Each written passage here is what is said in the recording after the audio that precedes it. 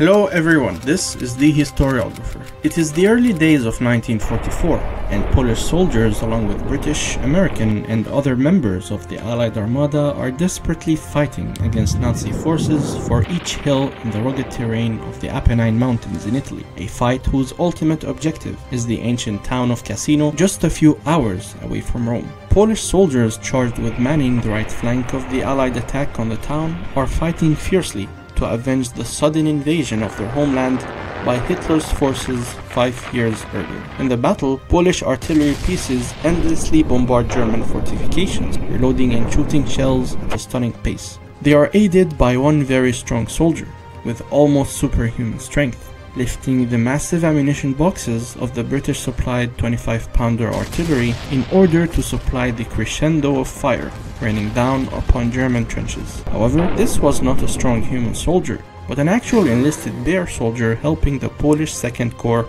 in their struggle. Meet Private Wojtek.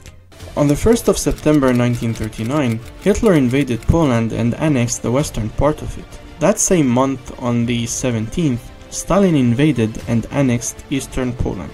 As a result, thousands of Polish citizens were either killed or sent to work in Siberia in the dreaded conditions of Stalin's gulags. However, in 1941, Hitler ordered his troops to invade the Soviet Union, therefore directly violating the German-Soviet non-aggression pact that was signed in 1939. As a response to Hitler's invasion, Stalin ordered the release of Polish prisoners in order to aid in Hitler's confrontation by forming a Polish army under Soviet supervision, an army which was led by Lieutenant General Władysław Anders. Yet, in 1942, these Polish soldiers, along with thousands of other Polish citizens, were transferred to Iran under a British-Soviet deal. At a railway station in Hamadan in Iran on 8 April 1942, Polish soldiers found a young Iranian boy who had found a bear cub whose mother had most likely been shot by hunters. Soldiers, seeing the state of the bear, refused to let the bear cub go, and they adopted the cub from the boy.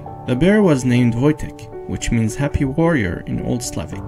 Wojtek was taken care of by the soldiers of the 22nd Artillery Supply Company of the now Polish 2nd Corps soldiers under British command. His main caretakers were the two soldiers Henryk Zacharevich and Dmitr Shavlugo. The cub was regularly fed army rations, as well as fruit, honey, and syrup. As for beverages, funnily enough, beer was Wojtek's favorite drink along with coffee which he consistently drank in the mornings, all while smoking and eating cigarettes given to him by the soldiers. The young cub enjoyed wrestling with the Polish soldiers, and he was even taught to salute when greeted. As such, Wojtek became an attraction for soldiers and civilians alike, and his popularity grew to such an extent that he became an unofficial mascot to all the units stationed nearby. With the 22nd Company, he moved from Iran to Iraq, and then through Syria, Palestine, and finally Egypt, all of which were under Allied control. From Egypt, the Polish Second Corps was reassigned to fight alongside the British Army in the ongoing Italian campaign. However, a problem encountered the Polish servicemen as British transport ship regulations forbade the carrying of pet animals. As a result, Wojtek was officially drafted into the Polish Second Corps as a private and hence given his own paybook, rank, and serial number, and ultimately able to partake in the Italian expedition. In Italy, Wojtek continued to live with his fellow comrades. His baptism of fire came during the Battle of Monte Cassino, lasting from 7 January to 18 May 1944, which pitted Allied soldiers against the defending units of the German Wehrmacht. Wojtek helped his artillery company to transport ammunition by carrying crates weighing hundreds of pounds. Wojtek learned to do this when he saw and copied the men of his company who were lifting ammo crates. Indeed, in the heat of battle, Wojtek carried boxes that normally required four men to do so. Interestingly, his service at Monte Cassino earned him a promotion to the rank of corporal, and in recognition of Wojtek's actions, a depiction of a bear carrying an artillery shell was adopted as the official emblem of the 22nd Company. After the end of the Second World War in 1945, Wojtek was moved to Berwickshire in Scotland with the rest of the 22nd Company.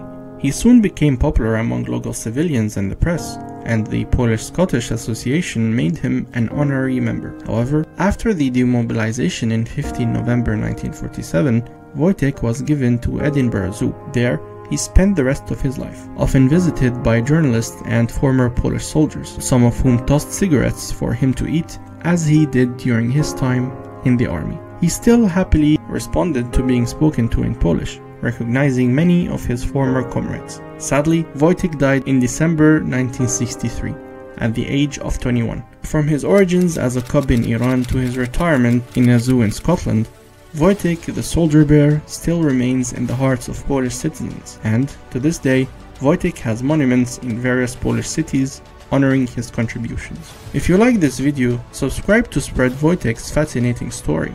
This has been the historiographer, and for now, have a good one.